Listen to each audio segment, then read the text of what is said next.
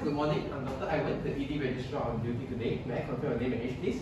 Hi, uh, I'm Miss uh, Hermione, 30 years old. Hi, nice to meet you, Miss Hermione. I will ask the chaperone to be with us today. And may I ask, do you have any pain currently? Uh, I have slight pain on my cheek uh, and eye, but it's okay. Alright, I will ask my staff to prepare a painkillers for you. And may I confirm the reason you are here today? Yeah, uh, it's, it's because my friend, uh, she punched my face over the left side. So I have pain over uh, the eye and the cheek. I see. So our task today is to actually examine your face, which would involve me having a look, feeling, and also just checking some uh, your ear and also your nose. Would that be alright for you? Uh, alright. Fantastic. Okay, I will begin by actually washing my hands. Okay. And I'll begin by general inspection. There's no any scars, deformity, any laceration wound present, but there's a hematoma over the left cheek.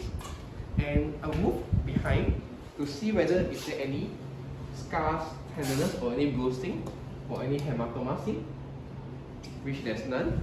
I'm now going to proceed to feel for the scalp, whether there's any. Just let me know if you have any pain, okay?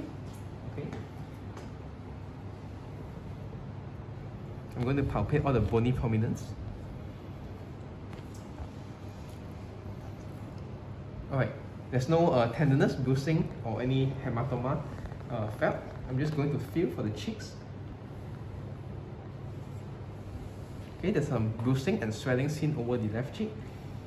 We'll feel for the mandible. Okay, and do you mind if you just open your mouth for me? I'm feeling for the uh, temporal mandibular joint. Open and close. Alright, there's no tenderness over the temporal mandibular joint and patient is able to open and close her jaw. Alright, I'll now begin by inspecting the eyes.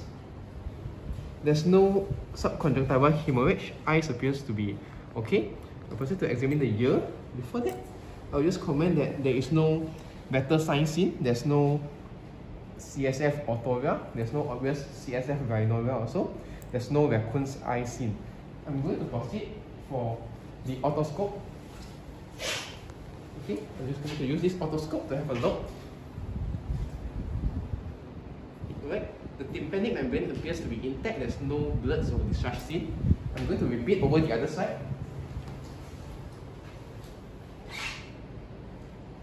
Alright, the tympanic membrane is intact. There's no blood or any discharge seen. I'm going to proceed to examine the nose. I'm just going to use a torch to actually see inside.